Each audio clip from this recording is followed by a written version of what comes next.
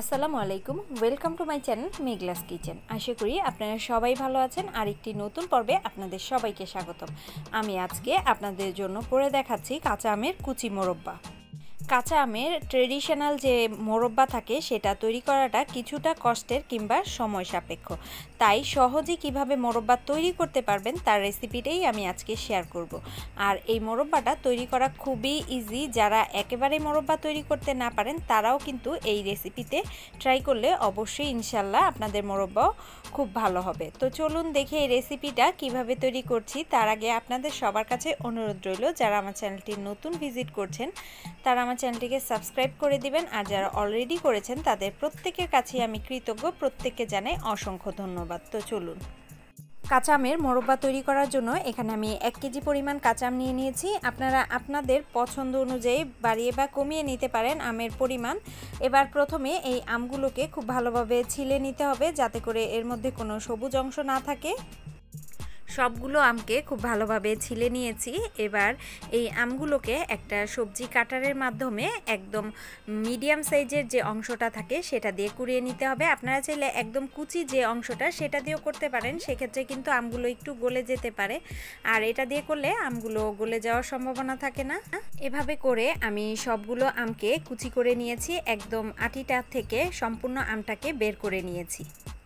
এবার একটা পাত্রে পরিষ্কার পানি নিয়ে নিচ্ছি আর পানির মধ্যে এই কাঁচা আমের সবটুকু অংশ নিয়ে নিচ্ছি যাতে করে এই আমগুলোর কষটা চলে যায় আর খুব ভালোভাবে আমগুলোকে ধুয়ে নিতে হবে। দুই থেকে তিনবার পানিটা চেঞ্জ করে এই আমগুলোকে ধুয়ে নিতে হবে যাতে করে আমের এক্সট্রা টক ভাব এবং কষের যে অংশটা সেটা চলে যায়। তো এভাবে করে খুব ভালোভাবে ধুয়ে পরিষ্কার পানি দিয়ে তারপর আবারও পরিষ্কার পানিতে নিয়ে নিতে হবে। এবার যখন আমটা ধুয়ে পরিষ্কার পানিতে নিয়েছি, তখন এই পানির মধ্যে আমি এক চা চামচ পরিমাণ চুন দিয়ে দিব যাতে করে এই আমটা যখন আমরা মোরব্বা তৈরি করি, আমটা যাতে গলে না যায়। এই প্রসেসটা অনেক আগে থেকেই আমার নানু করতো, তো আমি তার থেকেই শিখেছি মূলত চুন দিলে আমটা একটু টাইট হয়ে যায় আর মোরব্বাটা যখন আমরা তৈরি করি, তখন কিন্তু সেটা খুব শক্ত শক্ত থাকে। অর্থাৎ ভেঙে যায় না কিংবা গলে যায় না। তো এবার এই চুনটাকে আমি ভালোভাবে ধুয়ে তারপর পানিটা কয়েকবার চেঞ্জ করে নিয়েছি আর চুনের পানিতে আমি দু ঘণ্টার জন্য ভিজিয়ে রেখেছিলাম। এবার পরিষ্কার পানি দিয়ে তিনবারের মতো ধুয়ে নিয়েছি। এবার আমগুলোকে শেষবার যখন ধোয়া হয়ে গিয়েছে, তখন পরিষ্কার পানি সহ একটা পাত্রে স্টেইনারের উপরে সুতি কাপড় দিয়ে তারপর সেটাকে ভালোভাবে ছেঁকে নিচ্ছি।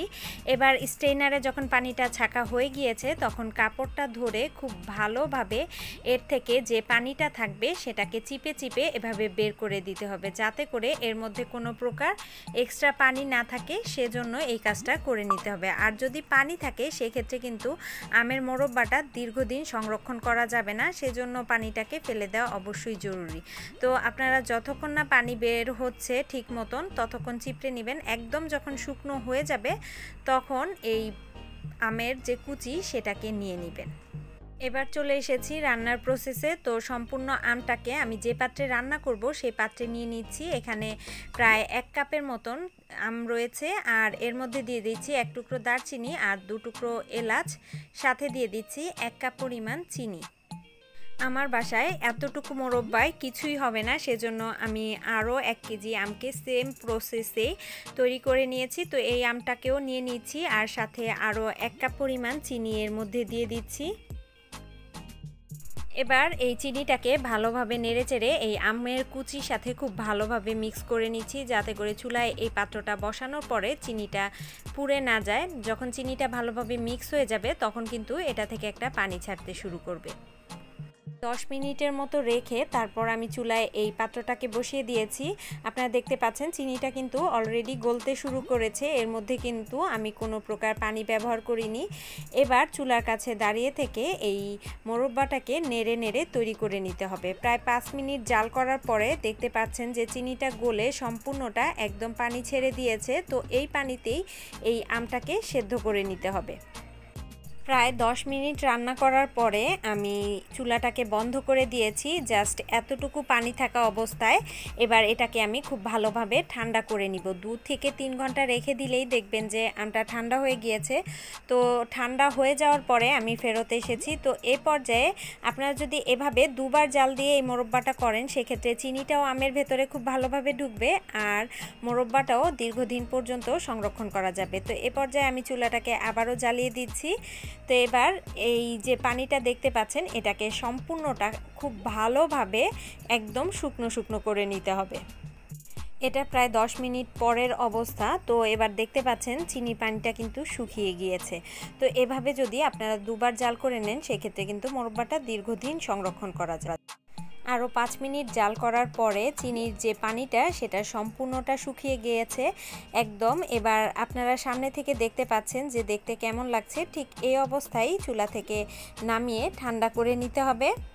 আমি সামনে থেকে আপনাদেরকে একটা দেখিয়ে দিচ্ছি। এটা কিন্তু একেবারেই ট্রান্সপারেন্ট হয়ে গিয়েছে আর আমগুলো কিন্তু একেবারে গলে যায়নি। এগুলো একদম শক্ত শক্ত অবস্থায় আছে। অর্থাৎ প্রতিটা একেবারেই ঝরঝরে আছে। যখন ঠান্ডা হবে তখন আরও ঝরঝরে হয়ে যাবে।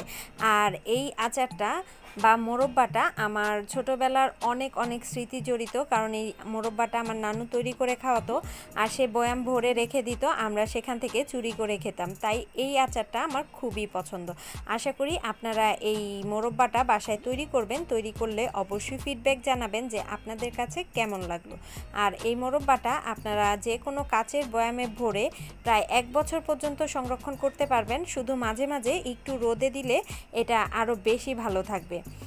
আর কাচের বয়ামটাকে অবশ্যই স্টাইলাইজ করে নেবেন। ফুটন্ত পানিতে চুলা বন্ধ করে 10 মিনিট ভিজিয়ে রেখে কাচের বয়ামটাকে উঠিয়ে রোদে শুকিয়ে নেবেন। এতে করে যে কোনো আচার রাখেন, সেটা কিন্তু দীর্ঘদিন পর্যন্ত ভালো থাকবে। আর আচার ওঠানোর সময় অবশ্যই শুকনো চামচ ব্যবহার করবেন। তাতে করেও কিন্তু আচারের যে একটা ময়শ্চার, সেটা ভালো থাকে। তো এভাবেই কিন্তু তৈরি হয়ে গেল আমার আজকের এই কাঁচা আমের মোরব্বা। আপনাদের কাছে কেমন লাগল? আর বাসায় তৈরি করলে অবশ্যই ফিডব্যাক জানাবেন। আপনারা সবাই ভালো থাকবেন আমার জন্য দোয়া করবেন। আজকে এ পর্যন্তই আল্লাহ হাফেজ।